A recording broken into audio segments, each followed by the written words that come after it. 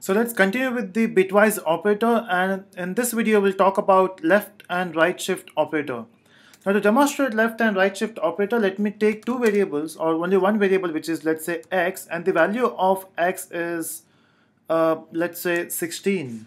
Okay so we have a value which is x so variable x and the value is 16 and what we'll do is we'll use x and we'll use a left shift operator. So when you say angular bracket 2 times angular bracket which is less 2 less than sign which is equal which is actually a left shift operator.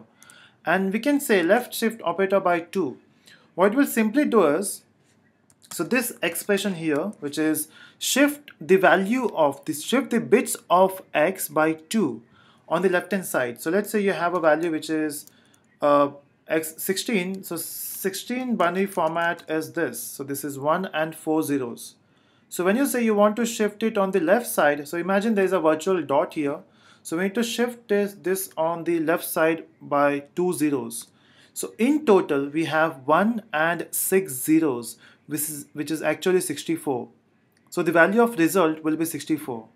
So if I run this, you can see the answer is 64. Simple. So that, that is how we use left shift operator. Now let's see what is right shift operator. So now your 16 is this value and we have a virtual dot here. So when I apply a right shift operator, which means if I apply a right shift operator here, it will shift my bits on the left right hand side. So it will shift these two bits on the right hand side, which will delete it. And it will give you one double zero, which is actually four. So if I run this code now, you will getting you will be getting a value which is four.